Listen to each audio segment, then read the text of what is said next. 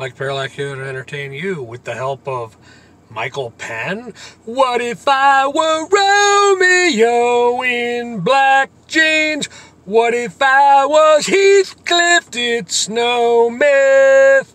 Maybe she's just looking for someone to dance with.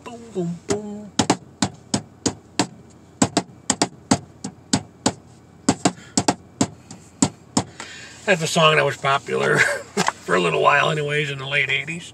Um, Michael Penn, he actually was on Night Live as the musical guest in 87, I think, when Madonna was the host. So I always, I, I don't know, I'll have to Google it. I don't know if he's related or Sean, to Sean Penn or not. Speaking of Madonna, you know, it takes a lot to uh, get me to feel queasy or like I'm going to regurgitate. But if I have to see my, that that video floating around of Madonna, an aging Madonna, in a bathtub with rose petals, bitching about how suppressed and oppressed she is, I think I just might lose my lunch. Ooh, long work day, 12 hours, and uh, an eventful day on social media too. I got uh, I got accused by somebody, James Darcy, got accused of being a puppet. I know, I'm afraid you have me confused with Barack Obama. I, I honestly thought he was going to be the guy to uh, stand up for uh, the working stiff like me. Nope. Nope. it uh, took the more colorful, uh, the Donald. I made a, already made a video about that. I'm still dealing with my shame, thinking Barack Obama was a real man. Yeah, I was back on back and forth uh, for the last couple days with this James Darcy on a uh, Dennis Prager speech um, video. So, what about Schwarzenegger?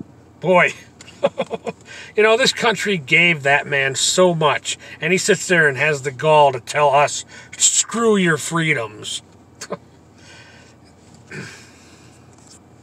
Yeah, Fauci is God. Fauci knows what he's talking about. Fauci's the expert, like he's the expert on a, on uh, on a bicep. Fauci's the expert. You follow Schwarzenegger's logic, then we all should just hang it up and never get out of bed again. complete contradiction. The man is, has become a complete contradiction to himself. Also, another one, Sean Penn. um, I get the feeling like he doesn't feel like he's doing his job because there's still people in the world who don't need that stuff. Uh, let's call it uh, additives, like I said on my other on that other video I, I made.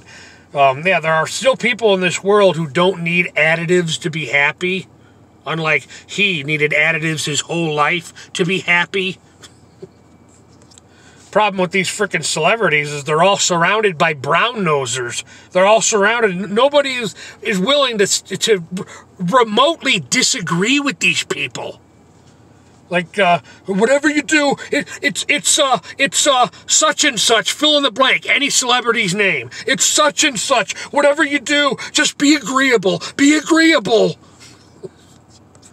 It's no wonder these people walk around like their fecal matter doesn't reek a while back, I uh, found uh, Madonna's uh, brother's Christopher Ciccone's uh, book, and uh, you know, and he uh, basically was ostracized by her because um,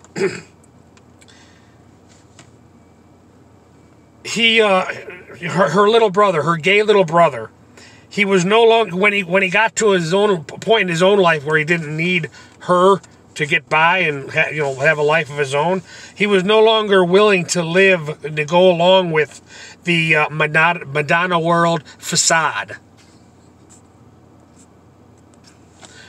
Uh, it's been a long day. I, am just going to end with a joke.